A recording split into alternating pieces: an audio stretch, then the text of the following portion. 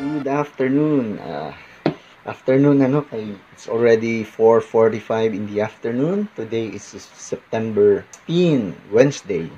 So naabot na yun ang usa sa akong gipaabot na package no. So medyo basa itong kusog kayong ulan.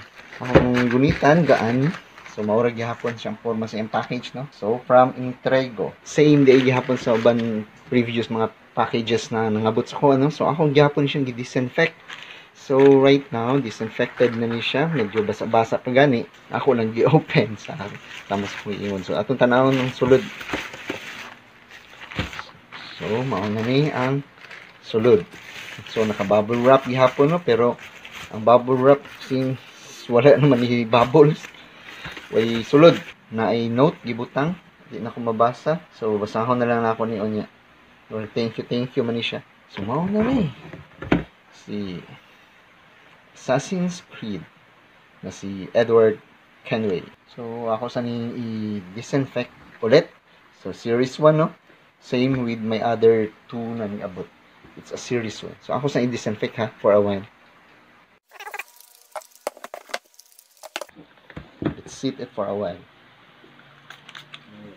so, right now, no? So, mo ni si Edward Kenway na nasa iyang box. So, as you can see sa front, look at his face na very sting.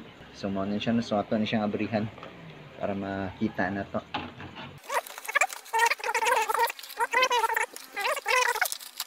Ayan. So, this is it. So, mo na siya yung napajoy unlock your exclusive content para man siya sa games. Nawarin na kayo unlock sa games. Assassin's Creed 4 Black Flag. So, na-code ato ka sa iyang website para ma-unlock ni siya. Then ang mismong toy. Then uh, siya duha ka sword and also a two pairs of blades. So wala siya pistol. As you can remember, natoy pistol si Edward Kenway na iyang ginasukasok diri sa iyang chest kani. So a pair of sword lang and a pair of two hidden blades. Ay. Naibot. Tanggal ang iyang so detachable din yung iyang hood. Nara sa imo kung itaod nimo yung hood or dili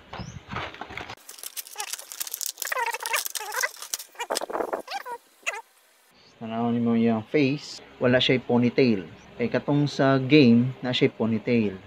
Frontal view tanaw na to yung head. Kung maliko ba. So dili na ko siya pugso no? Kay gahi basig ma sobra na kong lubag daot ni noon. You know what? Ang uban very particular sa articulations no? Pero ako no? Dili kay ko ana kay tungod hindi ko ganahan na maliso-liso ilang mga kamot hilig mga statue type na mga toys. Nang kung sa informa ni mo? Oh ito informa dili na sige liso-lisuon pa imong mga kamot. So pero part man na sa atong review ang articulation so tanaw na to first ang ulo is medyo gahi gahi siya iliko so dili na lang nako i-twist kay masig maguba pa Then, ang iyang arm, na siya sa mga 45 degree angle na makuha mo siya, liko. How about forward? So, no. Siya forward. Then, ang iyang sumaliko ni mo, no? So, na dinay duha ka slot diha. So, diha siguro probably ibutang nimo ang blade. Yan kamot. So, maliko siya o, ah, maliko. 360 degrees. How about ang hand? Maliko po siya. So, very good. Then, how about sa right hand niya? So, same. Mga 45 degrees angle na matwist niyo siya.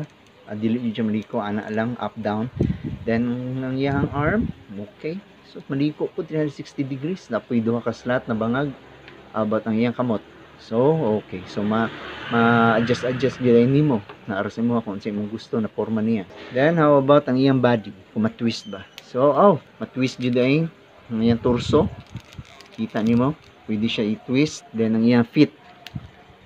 Left right left right lang. Din nimo ma-forward. Ah ma-forward day so ma-adjust day nimo kung saan nimo pagkuan hasta ang iyang ankle. So forward up down up down. Same with the left foot niya no baliktad man yata ni pagkataod niya boots so matindog nimo kay ma-adjust man day nimo yan nimo yang iyang tiil.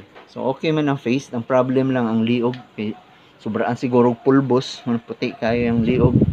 Sa iyang kamot. Ang colors niyang face is uh, different from sa iyang liog ug sa kamot. How about ang iyang upper body? So tama jud tong nato iyang sash na red kaniyang costume na gikuha niya kay assassin na si Warpool. Ang na problem lang ang iyahang butanganan sa iyang pistol. So wala siya pistol. Mao man to siya ang murag pag once na naingato mo jud si Edward Kenway jud siya. Naisa ka I don't think san siya na rubber na strap. I don't know si purpose ani. Yung lower body.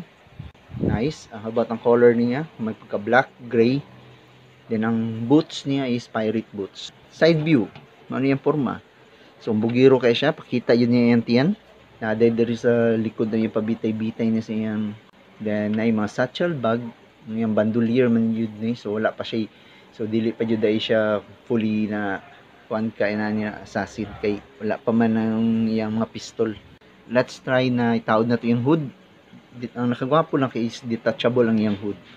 Pwede siya. Mao na na yung forma karon na may hood na siya so let's try na ibutang na to yung mga gamit no? Kung nani nataod na nato yung hidden blade no? As you can see uh, wala jud ako gi-partner ang hidden blade niya. Ang isa is long head long na blade. Ang isa is tong medium size na blade. So wala na ako siya gi-pair. Pero kung inyong tanawon dili siya hidden. Kaya naka-expose man siya. Siguro kaya siguro dili pair. Kaya ang isa gamay na blade is because naka-retract siya then kani sigurong isa is naka nakalabas na.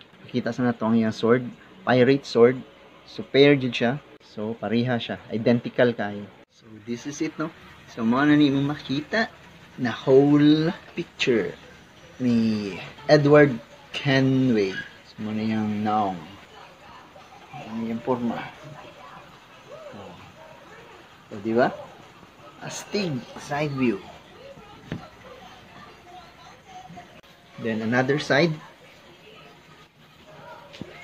So wala na siya? So actually no nag-ulan manggug karon. So mura jud timing dyan no? Na si Edward Kenway is a pirate. So far no I really like this toy. So mindot yun siya pagka scope pagkahimo. Astig na Edward Kenway kompleto na ang akong Black Flag series. Na na si Edward Kenway then sa iyang left na si Haytham Kenway na iyang anak and there is iyang right is si Connor na iyang apo. So mga Kenway lines ni sila no sa Assassin's Creed. Kung pero kung maingon ta og Black Flag series na pay isa dito na si Atabay. Na si Atabay mapud na siya ang mentor ni Edward Kenway nindot na tanawon na silang tulo so additional na po din sa akong mga collection. Thank you for subscribing. Thank you for following my channel. And hope to see you soon on my uh, videos. See you. Bye